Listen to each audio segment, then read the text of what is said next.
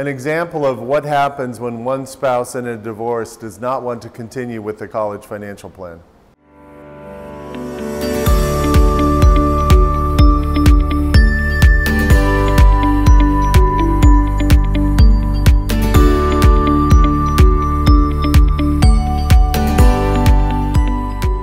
Hi, uh, I'm here with Katie Clunan, a family law attorney located here in Westlake Village.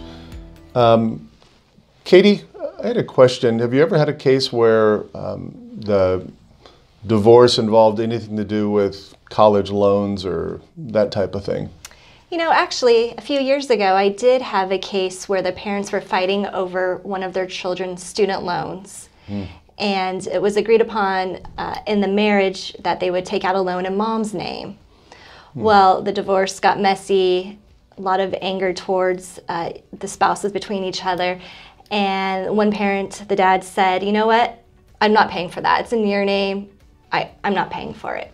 And it was really contentious. And it went to trial, that case. And the judge said, Sir, did you agree to pay for your children's college, the student loan during the marriage? And he eventually, you know, agreed, and the judge did order him to be uh, on the hook to pay for half the remaining balance.